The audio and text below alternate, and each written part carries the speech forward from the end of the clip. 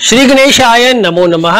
मित्रों, अनोखा संगम चैनल में आपका हार्दिक स्वागत है। आज हम बात करने वाले हैं पंचांग के विषय में।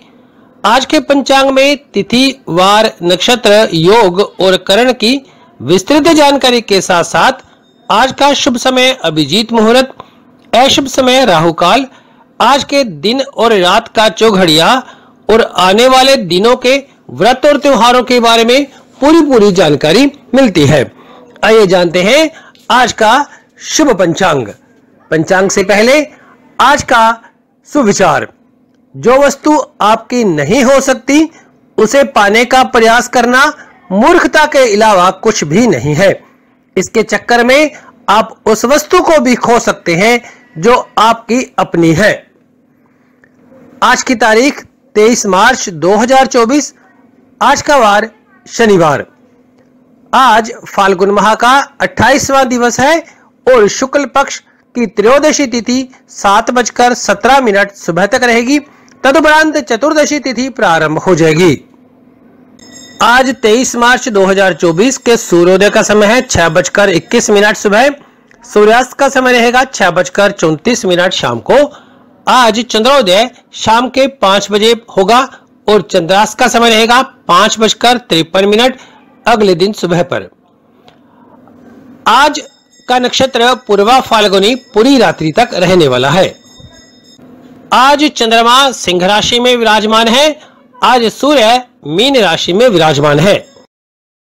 आज का पहला कर्ण तैतिल सात बजकर सत्रह मिनट सुबह तक रहेगा।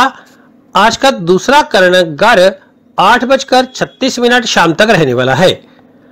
आने वाले व्रत और त्योहारों की सूची में 24 तारीख रविवार को छोटी होली होली का दहन 25 तारीख सोमवार को होली, वसंत पूर्णिमा, लक्ष्मी जयंती और फाग है। 26 तारीख मंगलवार को चैत्र महाप्रारंभ हो जाएगा। 27 तारीख बुधवार को भ्रातृ द्वितीया या भाई दूज है। आज का योग शूल सात बजकर पैंतीस मिनट शाम तक रहेगा। इसके बाद गंड योग प्रारंभ हो जाएगा। दिशाशूल की बात करें तो आज पूर्व दिशा में दिशाशूल है। आज के दिन पूर्व दिशा में यात्रा ना करें।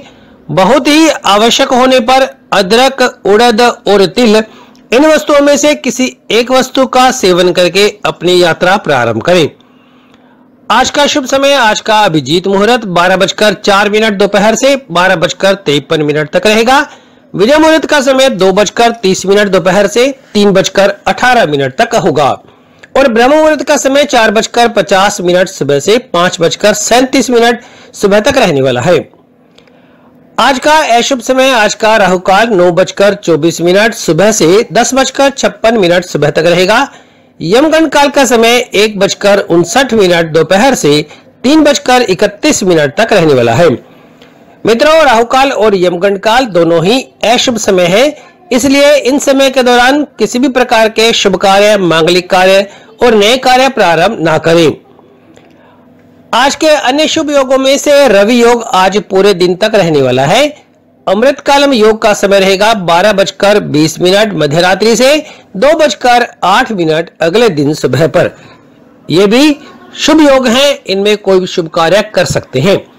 आइए जानते हैं आज के दिन का चौघड़िया। तेईस मार्च को शुभ समय रहेगा। सात बजकर चौवन मिनट सुबह से नौ बजकर पच्चीस मिनट सुबह तक। चार समय अर्थात सामान्य समय बारह बजकर अट्ठाईस मिनट दोपहर से एक बजकर उनसठ मिनट तक रहेगा। लाभ समय एक बजकर उनसठ मिनट दोपहर से तीन बजकर इकतीस मिनट तक रहने वाला है। अमृत समय तीन बजकर इकतीस मिनट दोपहर से पाँच बजकर तीन मिनट शाम तक रहेगा। आज रात्रि के चौघड़िए में लाभ समय छह बजकर चौतीस मिनट शाम से आठ बजकर दो मिनट तक होगा।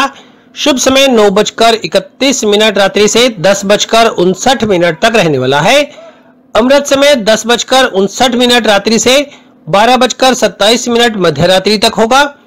चर समय अर्थात सामान्य समय बारह बजकर सत्ताईस मिनट से एक बजकर छप्पन मिनट अगले दिन सुबह तक रहने वाला है।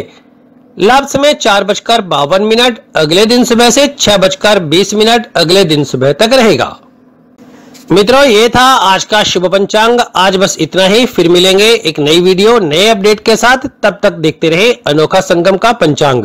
और इसे अधिक से अधिक सब्सक्राइब करें, लाइक करें, शेयर करें, कमेंट करें। और कमेंट में लिखें, जय माता दी। वीडियो में अंत तक बने रहने के लिए आपका बहुत बहुत धन्यवाद।